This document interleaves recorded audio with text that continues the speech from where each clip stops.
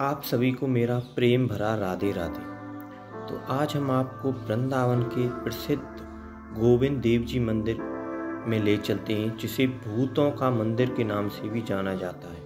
अब इसे भूतों का मंदिर क्यों कहते हैं यह देखने के लिए वीडियो में लास्ट तक बने रहना। राधे राधे आप सभी को श्री वृंदावन धाम से। तो आज हम आपको श्री गोविंद देव जी का मंदिर जिसे भूतों का मंदिर भी कहा जाता है पूरी जानकारी देने वाले हैं और अंदर तक पूरा घुमाने वाले हैं तो वीडियो में लास्ट तक बने रहिएगा। गोविंद देव जी मंदिर का निर्माण 16वीं शताब्दी में राजा मानसिंह के द्वारा करवाया गया।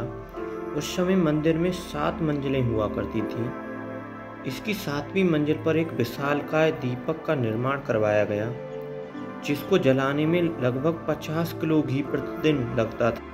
उस दीपक की लौ कई किलोमीटर दूर तक दिखाई पड़ती थी। औरंगज़ेब को यह बात बिल्कुल अच्छी नहीं लगी और उसने अपनी सेना को मंदिर तोड़ने का आदेश दे दिया।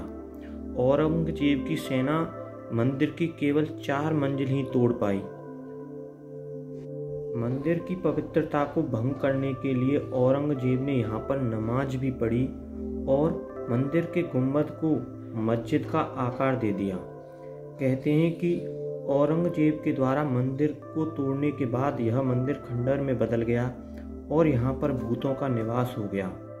और स्थानीय मान्यताओं के अनुसार इस मंदिर का निर्माण रातों रात भूतों के द्वारा किया गया और सुबह के टाइम किसी महिला द्वारा चाकी चलाने पर वो भूत यहाँ से भाग गए।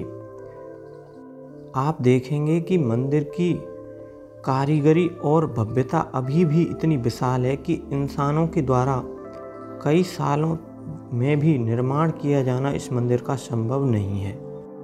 मिलते हैं किसी नेक्स्ट वीडियो में, तब तक के लिए राधे राधे।